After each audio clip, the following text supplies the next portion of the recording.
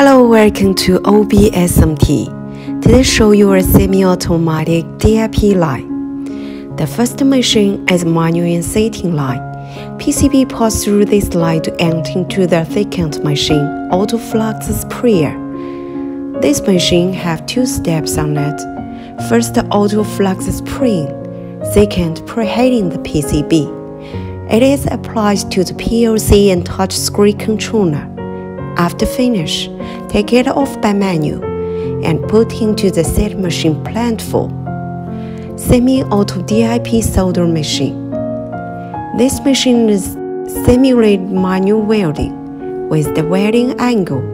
Machine let the for go down to dip into the solder tank with the welding angle to get a good welding result. Preheating time, welding time, moving speed can be or can adjust. Compared to the older wave solder machine, this machine will be much more economic. Solder capacity is 80 kilograms.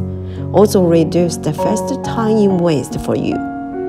If you have PCBA, the welding side is all DIP lead and the production quantity is not too much, then this machine will be the best choice for you.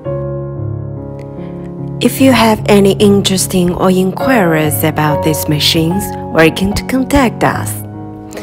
Okay, now let us check the welding results. Each welding point is very clear and good. Thanks for your watching.